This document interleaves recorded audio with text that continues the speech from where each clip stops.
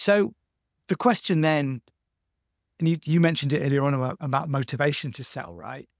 I mean, the motivation I hear, I mean, the primary motivation I hear from most founders, right, is is that cash reward. Is people always talk about the value, don't they? That's the thing that's at the front of their mind when they're in doing this process. Can you talk a bit about that valuations then at different sizes and kind of roughly how those are calculated? I know that's probably quite a big subject, but what are some of the things you can start to look at if you're a, a, SaaS founder about the potential value of your business? Yeah. So when it comes to the valuation of the business, and I'm looking at businesses every day and trying to think about how buyers are going to perceive them and what buyers are most likely uh, going to make uh, an offer on your business. So when we talk about those two types and buckets of, of buyers, kind of the strategic and the financial, let's just call those two the two main buckets.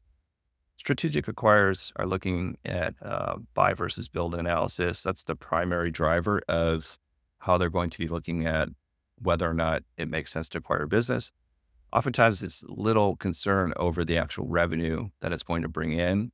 Um, it could be if there's a potential for um, selling, cross selling, but to me, that's that's also a little risky for a buyer.